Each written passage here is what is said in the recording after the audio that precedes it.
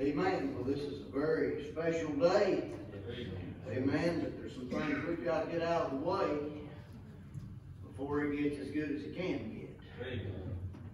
You're right, brother. You're in hot seat. Man, Sister Courtney, God bless your heart, honey. You are too. You didn't ask for these.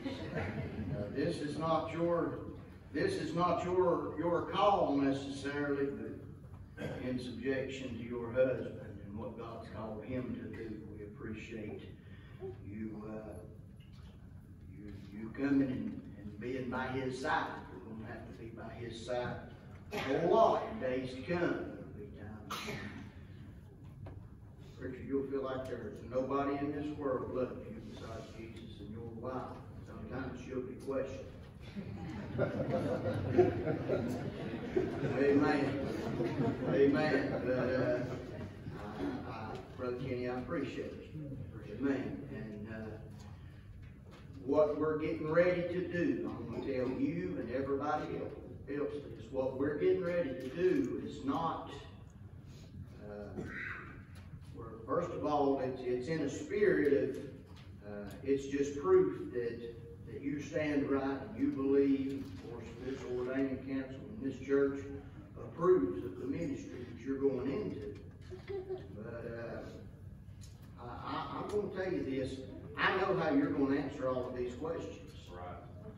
Uh, All of us pretty well know how you're gonna answer these questions, or you would have never gotten where you are right now.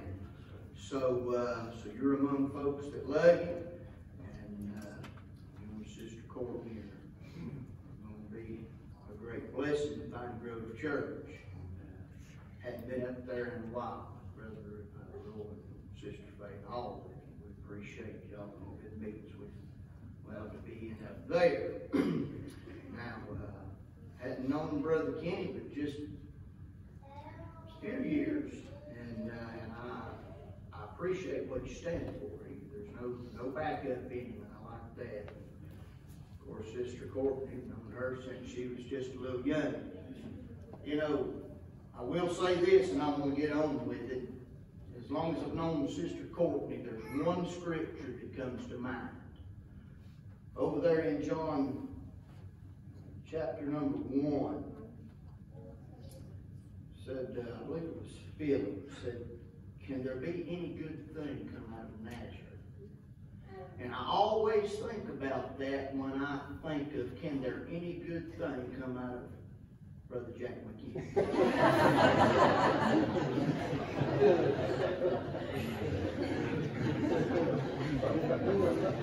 He can't say a word back to me. Amen. Amen. If you didn't know me and Brother Jack, you'd think we was about to go out in the yard and fight. And, uh, all right, well, let's just, uh, let's just move along. I know you're ready to get this over with. And, uh, Brother Kenny, I'd like for you to tell us about your salvation experience. Yes, sir. You don't have to come up here. I mean, you can if you want to, whatever suits you. No, it's fine, I don't mind. I, I just need to start by saying that, uh, I've known for probably, just had a feeling that this was gonna be a question that was gonna be asked for, I don't know, probably a week or so. It just seems like that the devil's been, he's been fighting hard, telling me that my salvation story is not good enough, but I, I guess from the time that I was little, I, I've known one, I knew one preacher and probably one preacher alone, and, and he was as good to me as, as anybody I've ever met, and still to this day, I still love him, I still think of him as a, as a great mentor, a great father figure, a great, a great pastor, great preacher, everything like that. He came to my house on, on Sunday morning, Sunday night, Wednesday night, he was there every day. And whether we came or not, he always came. He was faithful. Whether we came or not, he was faithful. And I grew up going to church and, Minneapolis Baptist Church over in Avery County.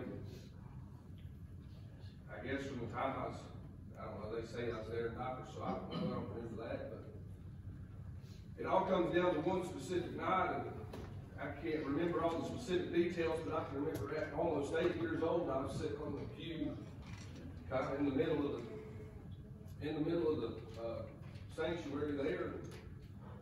I was at Bellevue Baptist Church, and it was, it was almost Christmas time, they preached a message and gave an invitation, and I don't, don't recall anybody else standing up, and don't recall anybody else doing anything else in the church, it was, it was completely quiet. It was just dead silence, and all of a sudden, I just couldn't help myself get up and call for, if you're lost, you can be saved. I remember walking to the front, believe I'm the ones there. I remember Brother Brian Griffith just saying, do the best you can. And I knelt down, he knelt down. And I just remember those words, do the best you can. And I just, I just remember, just remember saying, Jesus, I know I'm lost and I know I'm going to hell. There's nothing I can do to get me anywhere else. I can't go any farther. And I know that I'll never make it. I will never go anywhere in this life unless I have Jesus. Amen, amen, amen. Amen. Just please say, Amen. that's all I remember. I remember getting up. And I was as free as ever been. And I know I'll ever be as free as I have been on that day for the rest of my life. Amen. Amen. I remember going back to the and with a different stature, I guess. I remember getting on the church van go home that night, and as soon as I got to the house, I went and told my family. I said, I'm not going to hell. Amen. I'm Amen. I was excited I couldn't see. And I've been led astray since then. But I just, I God for my testimony. I don't care what anybody says. It's good enough for Jesus. And it's good enough for me. Amen. Amen, brother Keith. Bless your heart. Amen. Many of us that are saved can say amen to one thing. You supply the sinner, and he'll supply the salvation. Amen. Amen. Amen. Sister Courtney, would you tell us about your salvation experience? Um, I was raised in church, um, so thankful for a family that brought me from the day I was born. Um, can't thank you enough for that. Um, I was saved during revival at Mount Healing Baptist Church when I was seven. Um, I had been under conviction. Uh, the Lord was taking my sleep and I couldn't get peace. I knew that I was gonna die and go to hell. And, um, Daddy would beg me to get out of bed and pray, and he said, the Lord will save you right here, and I wouldn't do it. I put it off and put it off, and, uh, after Bible that night, it was just, just like Kenny said. It was, I had to move, or it was, a won't be right. And uh, I asked Daddy to come to the altar with me, and he said, nope, you gotta do it by yourself. And, um, I did, I walked in there, and I just asked the Lord to save me, and I'm so thankful that he did. Um, Amen. failing every day, and I, I just can't thank him enough for all that he's done for us and for saving us, and I just, I'm so thankful. I know I'll continue to fail him every day, but thankful to know that I get to go to heaven. Amen. Amen. God bless your heart. Do you, uh, you fully support your husband's ministry? You recognize that you're gonna be an example to the ladies in your dress and your walk and the way you conduct yourself and in your submission to him. Amen. Uh, That's all for you right now, sister. Don't brother Daniel, a little bit on theological exegesis of the Abrahamic covenant. That you just, right now. Okay. She's steady, got some notes. I love this young, you gotta understand, I've, I've watched her from the time she got saved. God so. All right, uh, Brother Kenny, tell us about your call to preach, brother.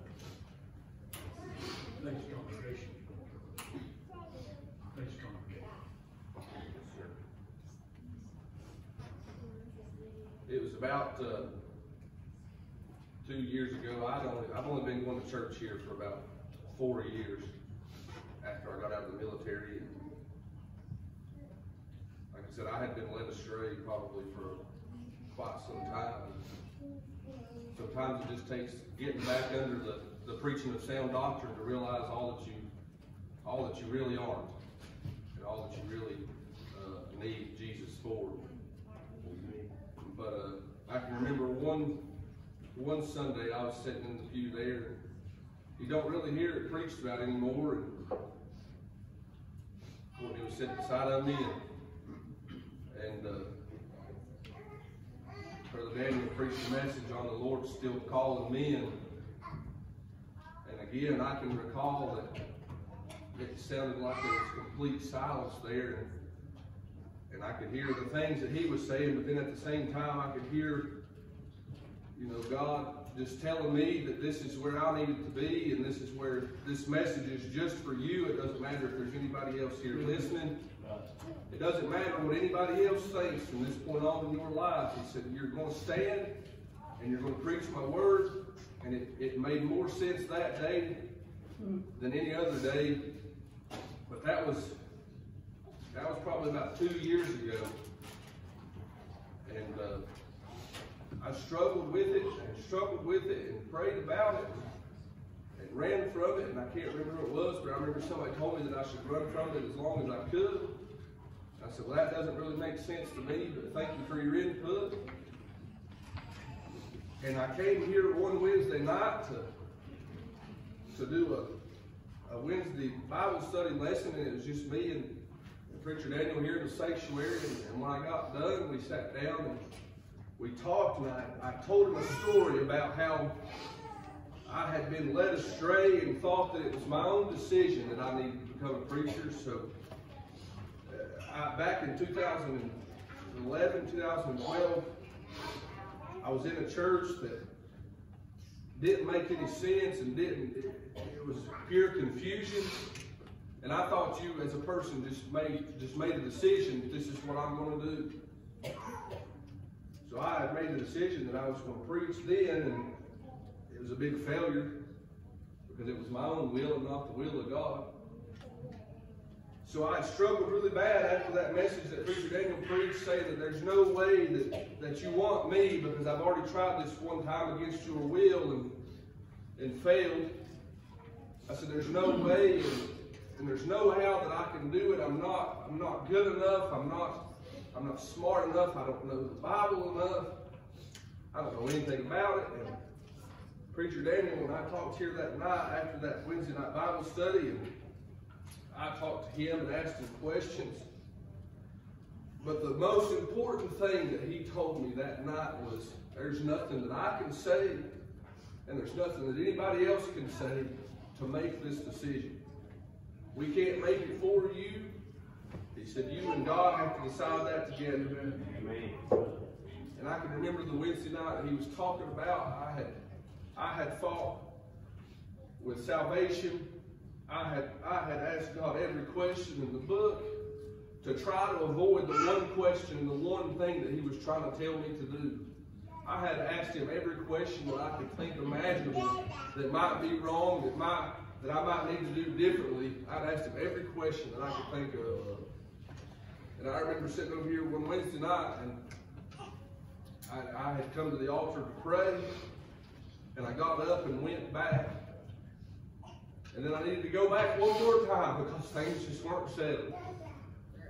When I came, I just finally said, I finally said, God, if it's not my salvation, if it's not my family, if it's not me, then just tell me what it is, and I'll, I promise I'll do it. And I just remember clear as day, at that point in time, I, it was just a piece that I had. That he said, just go preach, and I'll take care of the rest.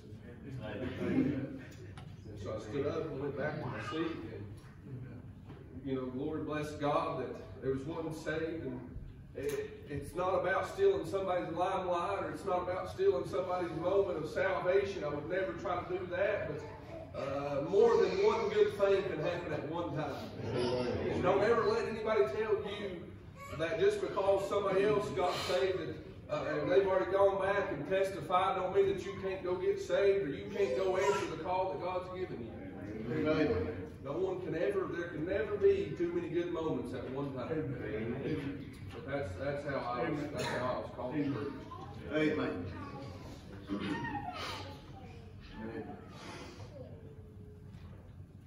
Amen. All right. Brother Kenny, do you believe the Word of God to be inerrant and infallible? Brother Kenny, do you believe the King James Bible is the preserved Word of God for His English speaking? Do you believe that the local New Testament church is the body that has been ordained to carry out the work of God?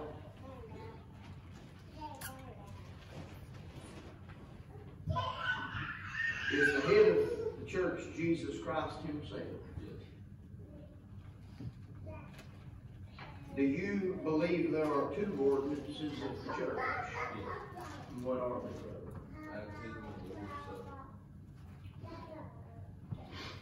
Do you believe that the New Testament local church should be active in missions?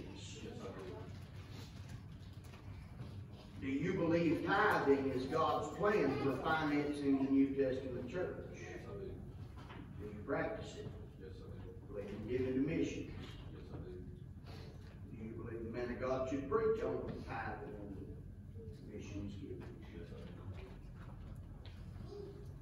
Brother Kenny, what is the gospel? The gospel is simply embracing the death, burial, and resurrection of our Lord and Savior Jesus Christ. Amen. Amen. Brother Kenny, do sinners have to hear the gospel preached to be saved? Yes. Those sinners, when they hear the gospel and they are willing to submit to the working of the Holy Ghost, are they saved by the grace of God through faith or through repentance of their sin and faith in the Lord Jesus Christ or by good works? Through faith, by grace through faith.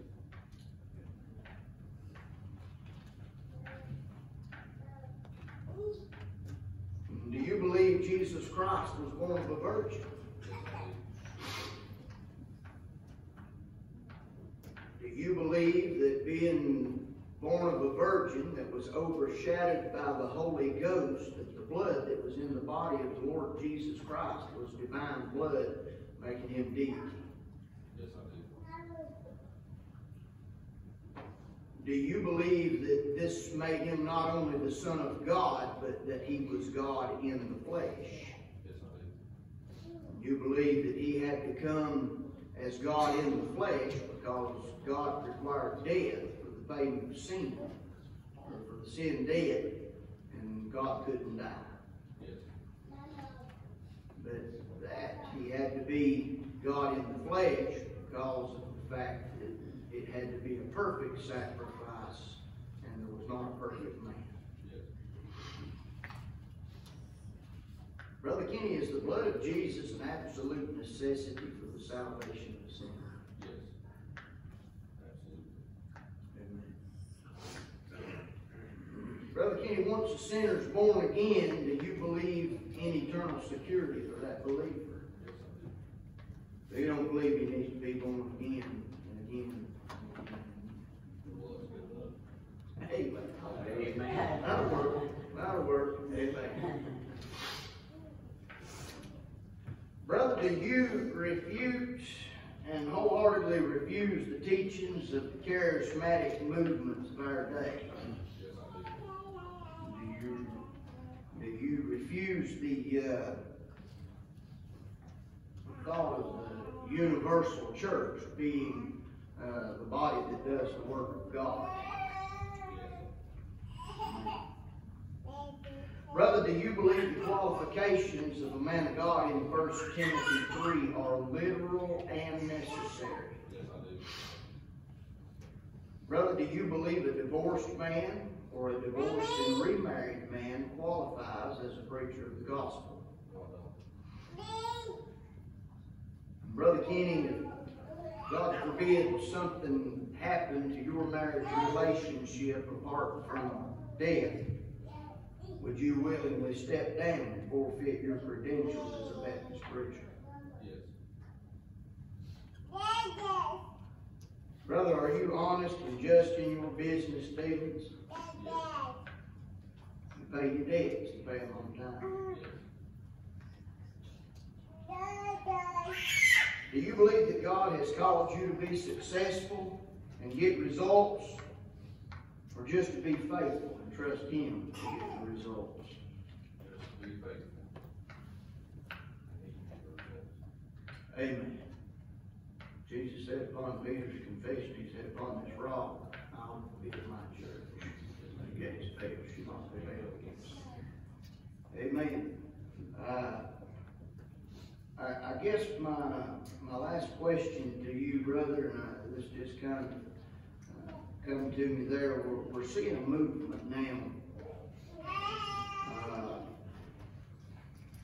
Where the worldly music, worldly events, worldly methods uh, have taken over. And a lot of, uh, I don't even want to call them churches, I want to say religious gatherings. Uh, Brother, do you, do you believe that God would ever use the methods of the world just to draw men unto himself? Do you think that God would ever sacrifice any of his attributes or his holiness just so he could get down on the level to draw a crowd? I'm. Amen.